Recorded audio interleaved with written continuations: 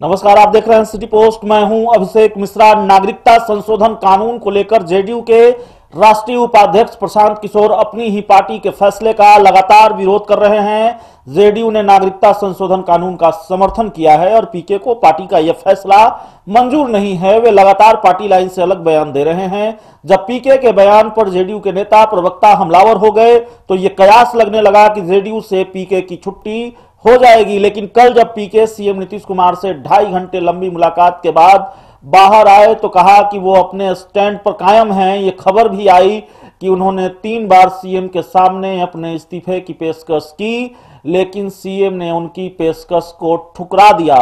कल के इन राजनीतिक घटनाक्रमों के बाद यह सवाल लगातार टहल रहा है कि पीके नीतीश कुमार के लिए ज़रूरी हैं या नीतीश पीके के लिए ज़रूरी हैं। फ़िलहाल संकेत यह मिल रहे हैं कि नीतीश प्रशांत किशोर का साथ नहीं छोड़ना चाहते। पीके गैर बीजेपी मुख्यमंत्रियों के साथ काम कर रहे हैं, उनकी डिमांड बढ़ रही है। तमिलनाडु में वे स्टालिन के चुनावी रणनीतिकार की भूमिका निभाने वाले हैं। दिल्ली में सीएम अरविंद केजरीवाल के चुनावी रणनीतिकार की भूमिका में भी प्रशांत किशोर होंगे। पश्चिम बंगाल की सीएम ममता बनर्जी के चुनावी रणनीतिकार की भूमिका में वे फ़िलहाल हैं। यानी जेडीयू में रहते हुए पीके न सिर्फ़ पार्टी के स्टैंड से अलग जाकर बयान दे रहे हैं बल्कि जेडीयू की सहयोगी बीजेपी की राह दूसरे राज्यों में मुश्किल कर रहे हैं या करने वाले हैं। ऐसे में पीके का जेडीयू में बने रहना इन कयासों को और मज़बूत करता है कि पीके नीतीश का दिया टास्क पूरा करने में जुटे हैं। जिस तरह से बीजेपी और जेडीयू के बीच तलखी रही है और हाल के दिनों में दोनों दलों के नेता एक दूसरे पर हमलावर रहे हैं उससे यह स्पष्ट है कि बीजेपी और जेडीयू की लड़ाई विपक्षी पार्टियों से ज़्यादा आपस में ही है।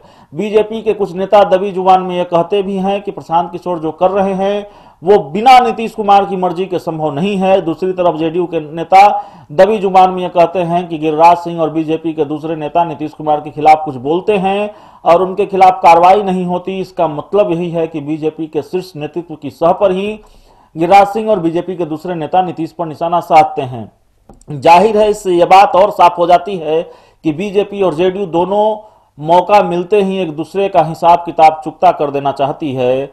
बीजेपी सांसद और पार्टी के कद्दावर नेता डॉक्टर सीपी ठाकुर खुलकर यह कह चुके हैं कि प्रशांत किशोर जिस तरह से ममता बनर्जी के लिए चुनावी रणनीतिकार की भूमिका निभा रहे हैं, वो गठबंधन धर्म के अनुकूल नहीं है, क्योंकि पीके सिर्फ़ चुनावी रणनीतिकार नहीं है, बल्कि बीजेपी की सहयोगी जेडीयू के राष्ट्रीय उपाध्यक्ष भी हैं। नीतीश और पीके की मिली भगत एक बड़े सियासी खेल का संकेत भी देती है। खेल यह है कि पीके दूसरे राज्यों में बीजेपी विरोधी दलों को मज़बूत करें और 2024 में देश की विपक्षी पार्टियों को इस बात के लिए तैयार करें कि नीतीश को पीएम पद का उम्मीदवार बनाकर 2024 का लोकसभा चुनाव लड़ा जाए। तो क्या बीजेपी नीतीश और पीके के इस बड़े खेल में फंस गई है? क्या नीतीश कुमार 2024 की रणनीति पर काम कर रहे हैं और इसलिए पीके को हर हाल में अपने साथ रखना चाहते हैं? तस्वीर धुंधली है, लेकिन जब धुआँ छटेगा तो कई दिलचस्प चीज़ें सामने आएँगी। इतना तय है। इस खबर में इतना ही।